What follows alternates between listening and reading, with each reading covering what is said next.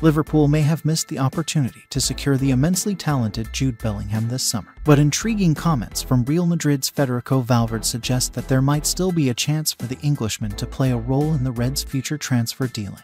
Valverde hinted at the possibility of a Premier League move should circumstances necessitate an exit from the Spanish capital. He stated, Premier League offers. I have the possibility of playing for Real. The day I don't feel like that, I will probably look for another solution, or Real itself will look for one for me. While a potential decrease in Valverde's playing time due to Bellingham's arrival in Madrid might raise eyebrows in the recruitment world, there are no clear indications yet that such a scenario will unfold. Valverde has played almost every minute of the season, missing only 83 minutes out of a possible 450 and starting in nearly every match. However, even if Liverpool were interested in Valverde, they would likely need to make an exception to their general policy of not pursuing players over the age of 25, as Valverde will turn 26 next summer. Additionally, with a contract running until 2027 and Real Madrid likely to demand a substantial transfer fee for one of the world's top midfielders, he may well be out of the club's price range. Fortunately, this doesn't necessarily spell disaster for Liverpool,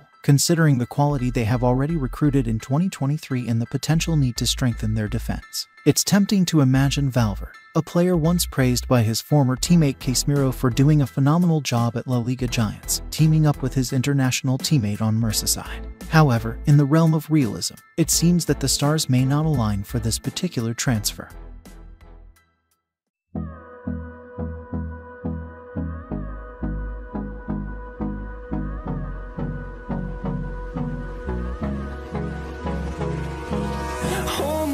Close till I get up.